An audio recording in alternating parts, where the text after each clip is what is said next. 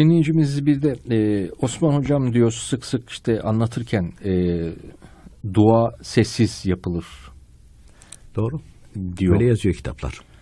Ama diyor her yerde bakıyoruz bağıra çağıra dua edenler. Aa, her yerde neler neler yapılıyor ve bugün de aynı şekilde Tamin Mesait Tebi ile Hüseyin Hilmi Efendi rahmetullahi teala aleyh o kavli de almış.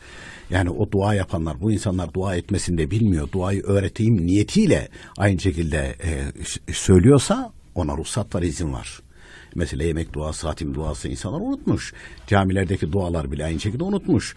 Camideki imam efendiler, hoca efendiler de e, cemaat bilmiyor. Onları öğretmek niyetiyle böyle yapıyorsa, yap, yapsa kurtaracak.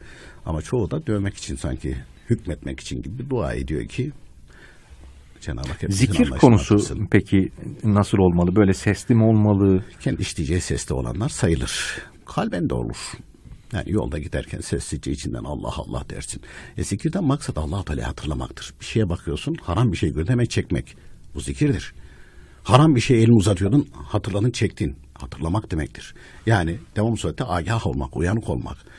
Her an Allah Teala'yı hatırlamak. Yemende, içmende, oturmanda, helaya girmende, çıkmanda hepsinde. Yoksa oralar karma karışık nefsine uyuyorsun. Gece eline tesbih alıyorsun. Allah Allah Allah diyorsun. Gündüzleri de özür dilerim de hani başka türlü davranıyorsun.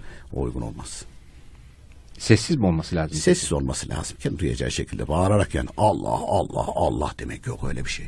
Mevlana Celaleddin Rumi Hazretleri de ondan sonra Seyyid Abdülkadir Geylani Hazretleri de hep sessiz yapmıştır. Mevlana Hazretleri dilini damağına yapıştır ve Cenab-ı Hakk'ın ismini aynı şekilde sessizce söyle diye mesnevisinde geçiyor.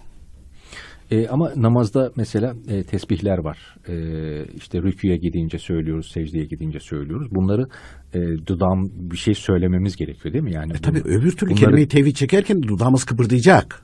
Evet. Orada da kıpırdı. Kendi işleyeceğimiz sesle. Yani bağırarak değil, başkası duyacak şekilde değil. Hatta bir yerde böyle birisi böyle şey yapıyor da falan eğilmiş birisine kulağını. Demiş Allah Teala duymadığını zannediyorsan demiş yanılıyorsun. Allah Teala duyuyor seni demiş. Yani bize duyurmana gerek yok. Sesli mi yapıyormuş? Sesli yapıyormuş.